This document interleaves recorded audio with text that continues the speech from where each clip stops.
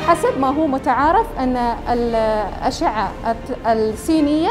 هي أول الفحوصات التشخيصية التي يتم إجراءها لمرضى الكورونا في حال الاشتباه بهذا المرض.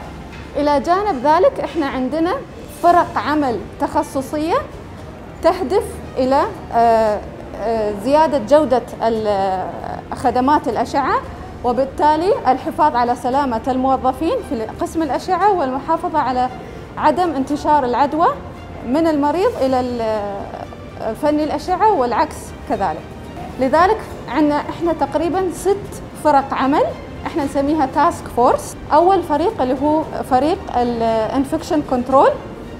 وثانيا عندنا فريق ال staff wellness ثالثا عندنا فريق ال continuous education وفريق ال mobile x-ray اللي هو يتعلق بكل الإجراءات اللازمة بهذا الفحص اللي تعتبر الكثافة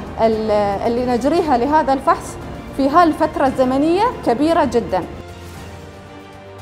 أحد أهم الفحوصات التشخيصية لمرض كورونا المستجد هو تصوير الرئة بالأشعة السينية وذلك عن طريق جهاز الأشعة المتنقل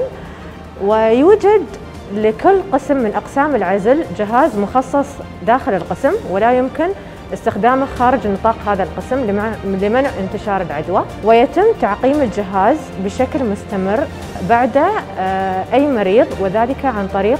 أدوات التعقيم المخصصة. بحسب ما أوردته الكلية الأمريكية طب الأشعة آه، وهي المرجع الأساسي لنا في مزاولة المهن الأشعة المقطعية لا تعتبر التشخيص الأساسي لمرض كوفيد 19 وإنما نحن نقوم بهذه الأشعة المقطعية خاصة عندما تسوء حالة المريض أو عندما يكون هناك أمراض أخرى متزامنة مع هذه الحالة.